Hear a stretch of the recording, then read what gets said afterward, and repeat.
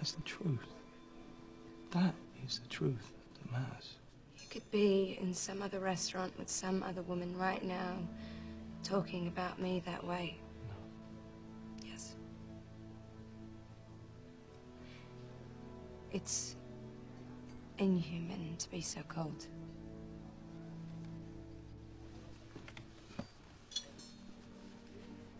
He's back. After two years. Got a new trick. They're saying it's the best London's ever seen. you should see the look on your face, Professor. You should go to him. You two deserve each other. Hare Om Namaha. Om Namo Bhagavate Vasudevaya. Om Namo Bhagavate Vasudevaya. In this multi part series, we shall explore the root issues connected to Srila Prabhupada's branch of Lord Chaitanya's Hare Krishna movement. These actually apply to all genuine theistic lines, but we shall only discuss them in relation to the Chaitanya tree in terms of its most important western branch, and that branch's perverted facsimile. We shall ask some questions and then present accurate answers to them. These issues have been discussed before throughout all of our treatises and videos, and they will once again be analyzed here in a more organized way in this series. Thus, we shall create the matrix for the remainder of the series as we delve into the root issues. Now, did His Divine Grace, Srila Prabhupada, come to the West to create an organized religion? Did he come here to found another church universal? His movement was organized, granted, but what was the real purpose of that organization? There should be no difference of opinion as to Prabhupada's chief intention. It was not for the creation of a church universal, which was what the Roman Catholic Church was called in medieval times. Instead, it was chiefly meant to create at least one other perfect person like himself. His original organization was a spiritual means of production for that purpose and this includes the charter of the Governing Body Commission, an oversight committee formed in 1970. The genuine guru cannot be manufactured via institutional concoction. Transcendental science is rooted in spiritual devotion, and interest in understanding that science is the real inspiration motivating all true seekers who align themselves with some kind of organization in order to serve their spiritual master. However, each and every one of them must first understand who is Guru. If there is a bogus Guru in it, what to speak of many of them, then that society will soon devolve into but another organized religion. During a platform lecture from Honolulu in July 1974, Prabhupada reiterated this quote, As it is indicated in the Vedas, Tad Vigyanartham. Tad means to understand that transcendental science. Gurum evabhigacchet. One must take shelter of the Guru to understand that science. It cannot be manufactured. Those who manufacture the method of understanding transcendental science, they are not bona fide. Guru means one who teaches the regulative principle of Shastra from authorized scripture. That is Guru. Unquote. Since the vast majority of Westerners do not understand what is guru, what is spiritual life, and what is genuine religion, impersonalist gatherings are considered by them to be religion, even though voidism and impersonalism are atheistic. In that very same platform lecture from Honolulu in the mid 70s, Prabhupada, when speaking about such gatherings, said that there were already many bogus gurus at that time. Quote, this is very important question because there are so many pseudo so-called gurus. They do not know what is Shastra, neither they follow the principle. Still, they gather some people and the world is full with such not bona fide gathering, unquote. To use Prabhupada's idiom, there are many more not bona fide gatherings at this time, primarily due to the emergence of the ISKCON, quotation marks on each side of the acronym, the ISKCON World Church, over the past 40 plus years. It is an organization of the very worst variety, an organized religion of the worst variety. In order to resist its allure, we must confront some obvious difficulties it promotes, and especially not fall victim to its love bombing. In coming to grips with the reality of Vaishnav Guru, initiation, mantra, and movement, we must confront the Western tendency to compromises, to make compromises and draw blur lines. Blurred lines are not the way. Prabhupada, yes, he was quite liberal in his expectations from his disciples. That should be understood in context, however, because he still drew very hard lines. In a platform lecture from Surat, India on December 23, 1970, Prabhupada stated, quote, First of all thing is, if the spiritual master is not bona fide, how his mantra can be bona fide? Your statement is contradictory. If you say the spiritual master is not bona fide, then how his mantra becomes bona fide, unquote.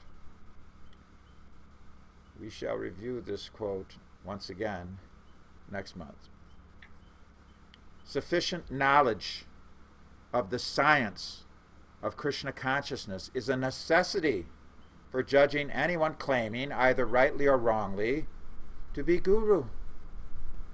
Not popularity, not numbers of followers, not the superficial strength of the organized religion that he adheres to, not the rubber stamp he may have finagled from it. Not the number of letters received from the previous acharya, not any hierarchical, institutional, or ecclesiastical considerations or conventions, none of these things.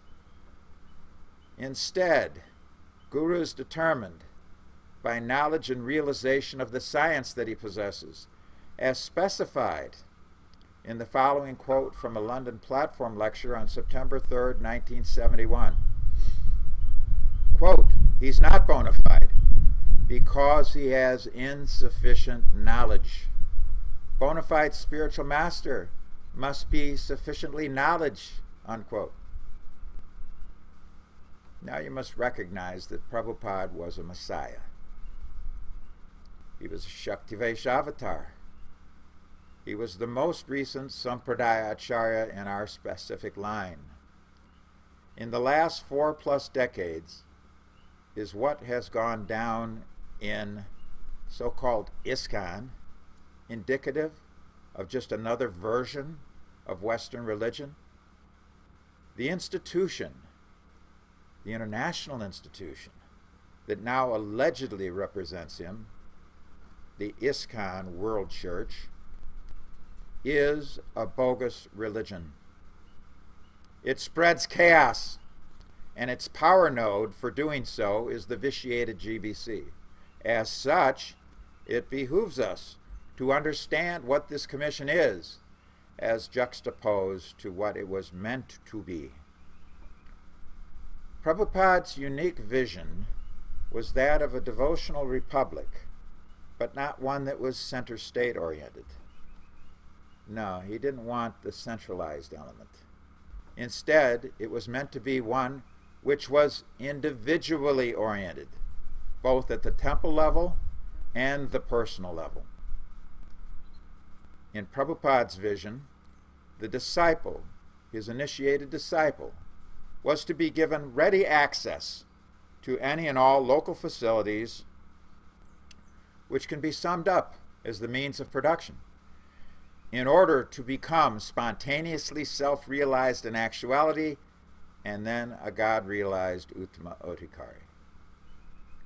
His society was primarily a cultural movement, not a religious movement. It was not meant to be in the category of what is considered today to be organized religion. It was a loose confederation of centers in which the temple president had his duties primarily coordinating the seva of the rest of the devotees residing in his center. The design, the perfect design of Prabhupada's movement was meant to facilitate any devotee in any center surpassing any other devotee there in detachment, knowledge, realization, and spiritual power while still carrying out his service in coordination with its president. Prabhupada, the God realized founder Acharya, served as the emperor of this republic. Although that analogy, of course, from a secular perspective appears contradictory.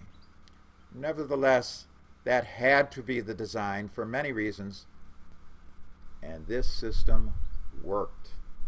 In other words, the means of production, along with worship of the Acharya at the center, produced devotees advancing in all of the qualities required for initially becoming regular gurus, spiritual masters, and yes, initiating spiritual masters in their own right.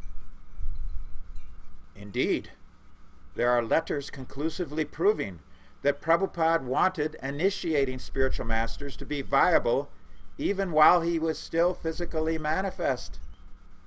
In excerpts from two such letters to his leading secretaries, both dated January 1969, Prabhupada made it clear that he wanted initiating gurus to soon manifest in his movement. Quote, those possessing the title of Bhakti Vedanta will be allowed to initiate disciples. Maybe by 1975, all of my disciples will be allowed to initiate and increase the numbers of the generations. That is my program, unquote. Quote, we shall hold an examination on teachings of Lord Chaitanya, Nectar of Devotion, and Vedanta Sutra and those who will successfully pass will be awarded with the title of Bhaktivedanta. By 1975, all of those who have passed all of the above examinations will be specifically empowered to initiate and increase the number, unquote. However, there was also the creation of the Governing Body Commission, which was not only an adaptation, but also an experiment. A similar entity had failed previously in connection to Gaudiya Math. In that one, some powerful members of that commission, which had the same moniker which Prabhupada later borrowed, rendered it useless very soon after Siddhanta Saraswati left physical manifestation they did so via schism. Yet, today questions remain about Prabhupada's GBC, the acronym of his governing body commission. In essence, what was it? What was it meant to be according to Prabhupada's vision? What, it did, be, what did it become and why? These questions, they all have answers and those answers are what you are now receiving. Now, first question Was the GBC meant to govern? Was it a kind of institutional government? Some would opine that most certainly it was meant to govern. Otherwise, why in its very moniker was the term quote unquote governing utilized? This must be explained. Because the moniker itself is based upon something from another source. In the decades of the first half of the previous century, the railroad system in India was really, really big. It still is, of course, but it was comparatively more important at that time, especially in terms of its share of transportation, than it is now. In terms of its size, it's probably a bit bigger now, but the subcontinent today offers Indian Airlines, Air India, better roads, more vehicles on those roads, and a slightly improved bus network. These transportation amenities minimize to some extent the importance of today's railroad system in transporting citizens from place to place in the subcontinent. In the first half of the previous century, however, its railroads were absolutely dominant. As such, Indian citizens prided themselves in their advanced railroad system, advanced compared to other third world countries. The nation state and the railroad management were intertwined at that time. So the entity controlling the operation at that time, by definition, would be a governing body with substantial governing powers. It came to be known as the Governing Body Commission. For its own purposes, Gaudiya Math co opted that terminology back in the day. Prabhupada chose to adopt the same title for the spiritual advisors he created in the summer of 1970. In other words, the quote unquote ultimate managing authority and its application of the word governing in the acronym of Prabhupada's GBC should not be misinterpreted as representing his alleged intention to have that commission an ultimate spiritual controlling entity for his fledgling movement. Now, you need to be aware that the initial GBC members were all temple presidents of a center at one time or another. So they understood what were the responsibilities and the problems of a temple president. As such, in their particular zones, they could advise any president in all areas relevant to his situation. The initial members of the GBC were also householders with one exception, and that exception soon also became a householder. There were no sannyasis on the board, as they were not meant for management, but to function in a higher capacity of preaching. The GBC was not meant to be an overlord, either individually or collectively. Control was meant for the temple presidents, almost all of whom were householders.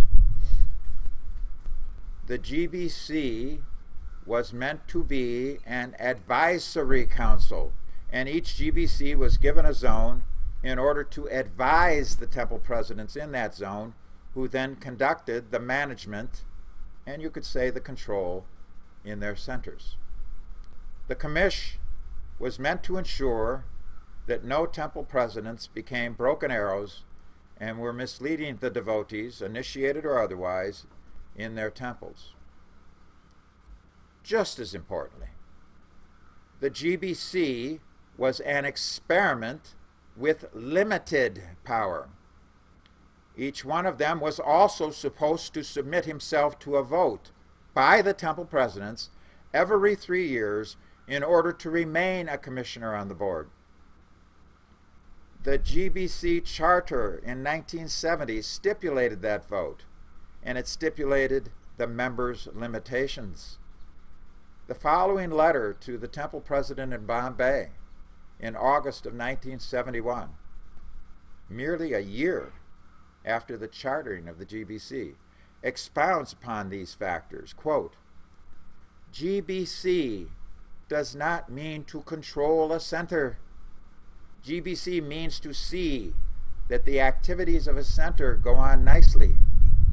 I do not know why Tamal is exercising absolute authority. That is not the business of GBC. The president, treasurer, and secretary are responsible for managing the center. GBC is to see that things are going on nicely, but not to exert absolute authority. That is not in the power of GBC. The GBC men cannot impose anything on the men of a center without consulting all of the other GBC members first. A GBC member cannot go beyond the jurisdiction of his power. We are in the experimental stage, but in the next meeting of the GBC members, they should form a constitution how the GBC members manage the whole affair. Unquote. Nevertheless, in defiance of the specific statements in this letter, the vitiated GBC soon came under the astral influence of an overlord egregor, with its most ambitious members serving that egregor and serving themselves by morphing into individual overlords. This was going on while Prabhupada was physically manifest, and those of us who were functioning in his society at that time knew it well. But it exploded exponentially just months after he left us. Instead of acting as a commission composed primarily of householders meant to advise temple presidents, it became a fulcrum for sannyasis to become kings of zones. In those concocted territories, they received undeserved worship as pretender Mahabhagavats. Two of the eleven, all with GBC imprimatur, were householders when they first secured their new zones, but they were pressured into accepting sannyas by the other nine pretenders. None of them were genuine sannyasis, and time has proved this beyond a shadow of a doubt. The Guru Parampara was bushwhacked as the ISKCON movement was hijacked by a deviated and vitiated GBC. And then the Acharya Board was created within the vitiated GBC in order to protect the 11 great pretenders from correction or oversight. Thus, there was no longer any connection to the disciplic succession because Prabhupada never authorized anything like this. The GBC experiment was an epic failure, devolving into a fever swamp wherein its most egregious members, many of whom possessed little or no personal charisma, could become, with the help of institutional charisma, pseudo gurus. Prabhupada warned about pseudo gurus repeatedly, and here are some examples. Quote, Guru means bona fide, but because there are so many pseudo gurus at the present moment, therefore we have to add this word bona fide. Otherwise, guru means bona fide. One who is not bona fide, he cannot be guru. But people are misled by pseudo or false gurus, unquote. Next letter. Unless one comes, quote, unless one comes in this disciplic succession, he cannot be guru. Therefore, I do not know all of them. All the swamis and yogis who came here, they do not belong to this parampara system. So therefore, they are not bona fide guru. They are presenting themselves as guru, but they are not guru. Therefore, people are misled, unquote. The idea that the 11 pretender Mahabhagavats were empowered by Prabhupada when he appointed them as merely Ritviks in the summer of 1977 is an example of wrong interpretation based upon mistaken knowledge. when they bought into Swami B.R. Sridhar's propaganda, such as, quote, Ritvik Acharya, then it becomes as good as Acharya, unquote, neither he nor they were representing the disciplic succession. When they imitated Uttama Adhikari, they were no longer even Kanishta, although they may well have been Mishra Bhaktas before that even whatever their previous status. They immediately all became Sahajiyas, and Prakrita Sahajiyas do not represent the Guru Parampara. His Divine Grace Srila Prabhupada drew hard lines concerning who legitimately represents an authorized Vaishnava disciplic succession, as exemplified by this quote in an August 1972 letter to one of his prominent American presidents. Quote, in the sense that they do not belong to the disciplic succession. In that sense, Christ, Buddha, and the others are not bona fide. But because they have got some special power, we accept them as bona fide, just like Buddha, we accept him.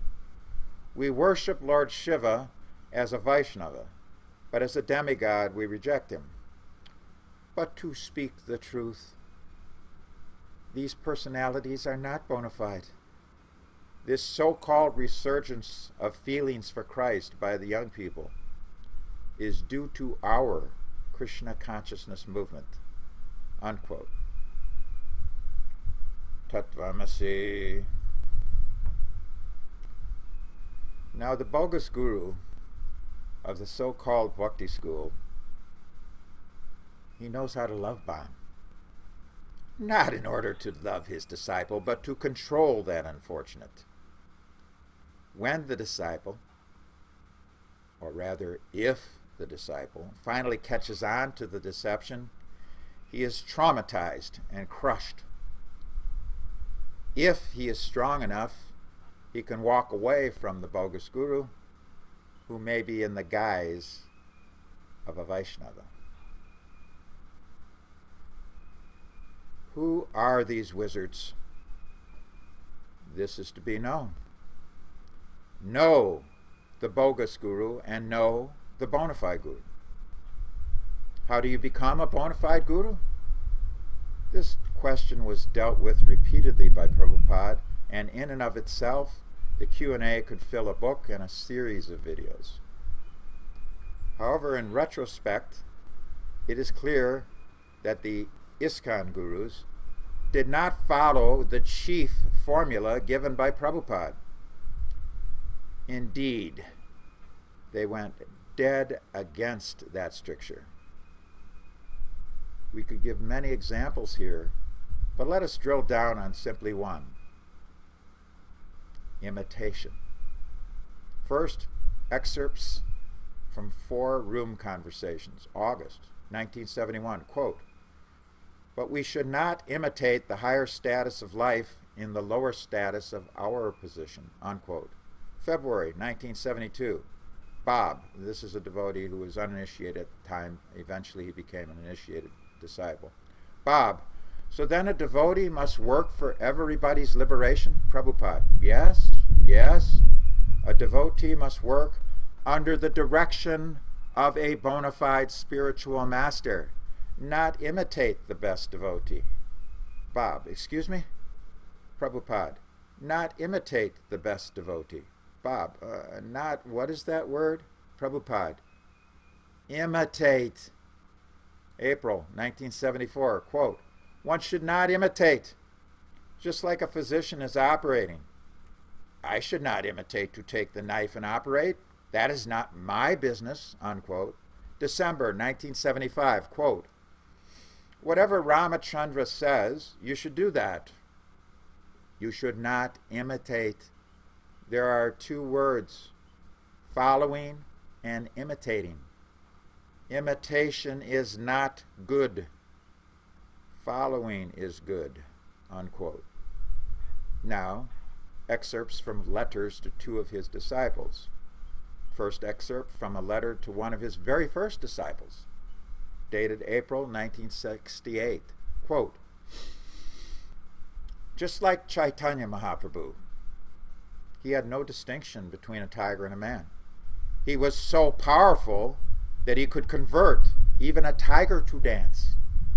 But so far we are concerned, we should not imitate and go to some tiger and try to make him dance. Unquote. Another excerpt to the same disciple, but from a different letter. Unquote. Quote, you should not imitate great personalities like Bhaktivinoda Thakur, but you must follow in his footprints. It is not always possible to have the same success as great personalities like Bhaktivinoda Thakur achieved. So in all circumstances, you should try to follow the footprints of authorities, but never to imitate them, unquote. And then an excerpt to one of his disciples, one of his sannyasis, dated January 1975. Quote, Regarding taking snuff, I myself take it sometimes at night because I am working at night on my books and sometimes I become dizzy. But it is not for you to take. You should not imitate this. Neither you work like me at night. Unquote. Yet imitation is exactly what the 11 pretender Mahabhagavats engaged in. Who can possibly deny this? How could such an egregious demonstration by unqualified people have gone unnoticed by so many devotees? Your host speaker picked up on the make show right from the gate, but so many fell for it in the late 70s and early to mid 80s in 1978, especially despicable were the temple presidents. With the notable exception of the Krishna Balaram Center in India, all of the other temple presidents were so blinded by their positions in the ISKCON hierarchy that they were unable to see where those 11 Sahajiyas were actually at. They all buckled in the face of the zonal onslaught.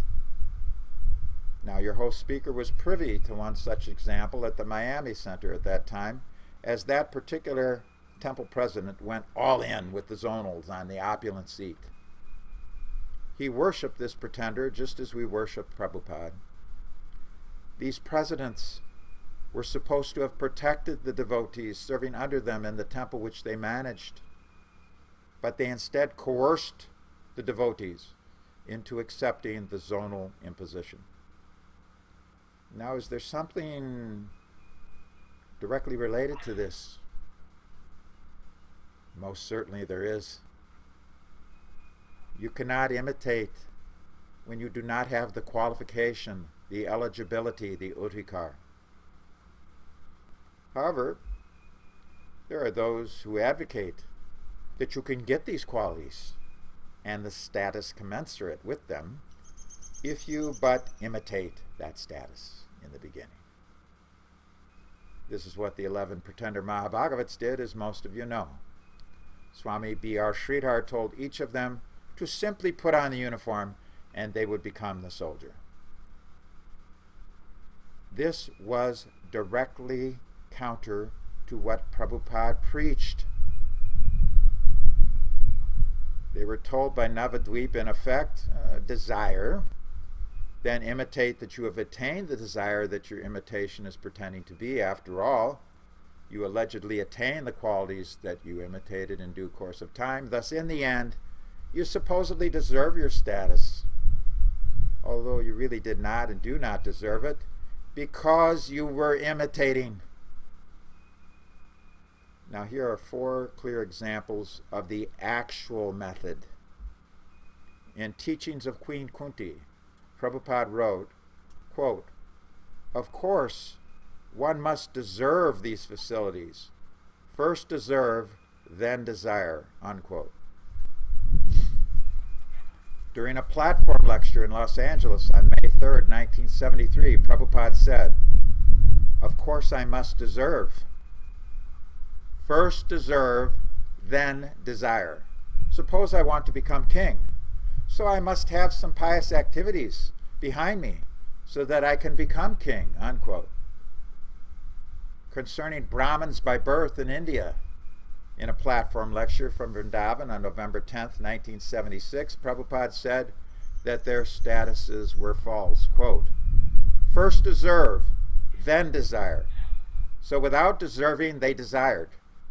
Therefore, whole thing is, it became false, unquote. In an exchange with two of his leading secretaries during a morning walk in Los Angeles on June 7, 1976, Prabhupada informed them, Prabhupada, I already explained, first deserve, then desire. Leading secretary, deserve, then desire. Oh, Prabhupada, you are a rascal. How you can desire? You have no qualification. What is this nonsense? Leading secretary. But then they have an answer. Prabhupada, what is that answer? Leading secretary. Let me just try it anyway to keep my mind thinking, Prabhupada, how you can try it? First of all, be qualified. You need necessary qualifications before you can become either a king or an initiating spiritual master. Just putting on the garb of a king will not turn you into a monarch. Just pretending to be an Uttama Adhikari will not turn you into a Mahabhagavat. Instead, it will immediately convert you into a Sahajiya. In 1977, Prabhupada said, quote, regular guru, that's all, unquote. Regular guru, that's all. Although he indicated that he might officially name some gurus, he never did. He only named Ritviks. Ritviks conduct initiation ceremonies on behalf of the physically manifest spiritual master because that is all that they are qualified to do. However, Swami B.R. Sridhar came to the rescue and gave the green light to imitating. Then, allegedly, the 11 pretenders would become qualified to be what initially they pretended to be. The whole thing was a colossal hoax. They were all but another version of the Brahmins by birth in India who have no sattvic development. How can you become an initiating spiritual master without the requisite purity, realization, and power? How can you become a Mahabhagavat by pretending that you are one? When Prabhupada made it crystal clear that the method of imitation is condemned, how can any of these unauthorized attempts be considered legitimate? Now, you are entitled to be contemptuous of the ISKCON World Church, to be contemptuous of its methods, its motives, how it came to power and hijacked Prabhupada's society, to be contemptuous of its mentality, to be contemptuous of its false claims of so-called authority, because it has no authority, and to be, yes, contemptuous of its so-called initiations. All of these things deserve contempt. However, unless you are very advanced and powerful in spiritual life, you best not be contemptuous of its malefic power, which is substantial. Do not fall victim to the idea that you can reform so-called ISKCON. It is far, far beyond the stage where it can be reformed.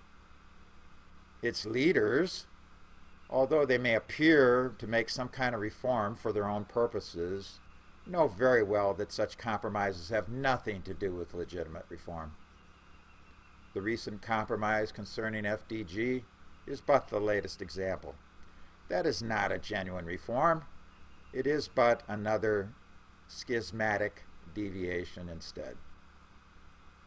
Now also, do not rush in with foolish courage. It is not your duty to be duped by the in the arena trope. Do what you can to expose the deviated cult, help others, but do not directly enter the fray within the ISKCON wheelhouse.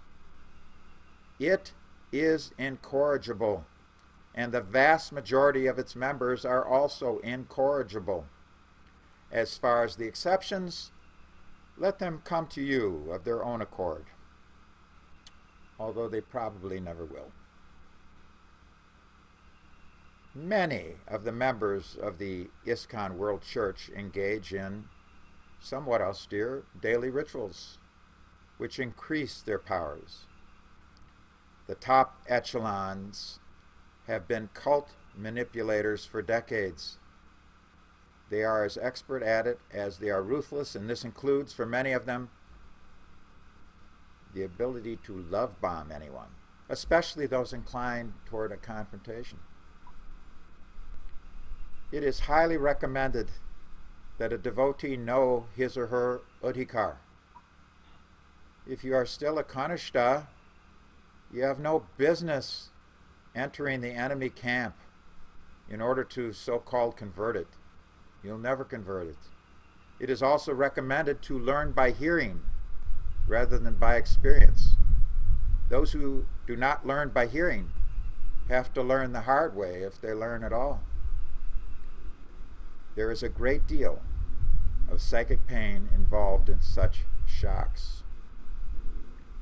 The mind game gorilla in so-called ISKCON is not all peace and love, let me tell you. The paradigm of any kind of world church has never played out well in Kali Yuga. The real need is spiritual awakening on the individual level First, get healthy trees, and then consider the forest. Maybe. The unhealthy state of the ISKCON World Church, the unhealthy state of the ISKCON World Church hinged upon wrong and fateful decisions that were attractive at that time to those who benefited from them, and those foxes had full access to the rank and file henhouse. Phalena Pariciyate, judge by the results. During the vote to form the zonal acharya concoction, there were the approaches to Swami B.R. Sridhar for all the bad advice he would wind up giving. Were the results from those meetings beneficial to Prabhupada's branch of Lord Chaitanya's Sampradaya? The question practically answers itself at this time, but such was not the case in 1978. Good judgment was what was called for, and there was so very little of it to be had by those leading secretaries in the late 70s. Now, there's something related to this that's very important, and it's this. What were the fateful approaches to Navadvip based upon? They were allegedly based upon Prabhupada authorizing them. Where is the evidence of that? Any document? Nope. Any tape recording? Nope. Any transcription? Nope. Only some personal testimony. Sure, that's evidence. But is it conclusive evidence? Certainly not. Even if he did authorize it, what was the context? Even if he did want his movement to attempt mutual preaching with Gaudiya Math was the context? We shall never know because the evidence is shaky, minimal, and based upon personal testimony most of which is either biased or deader than a doornail. More important than even these considerations is what was to be done after the decision to consult Swami B.R. Sridhar. He had been a muttbreaker in the late 30s. This was well known. Should not those who have appro who approached him have been on guard not so gullible as to immediately lap up whatever he dished out.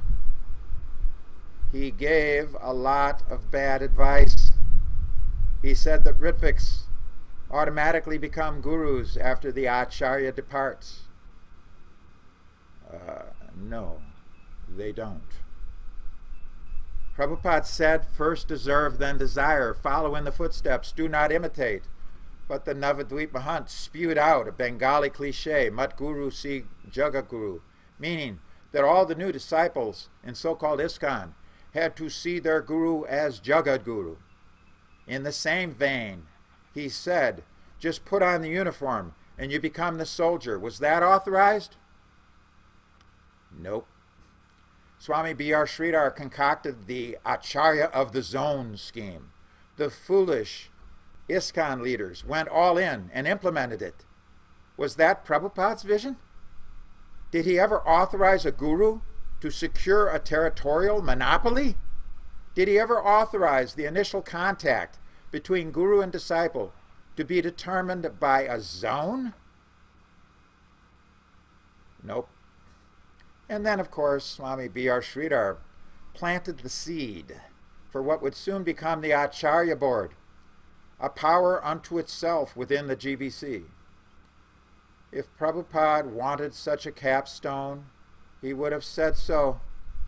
He never did. Your author was told many years ago by a member of the board that Prabhupada specifically ordered that no such thing within the GBC should ever be created.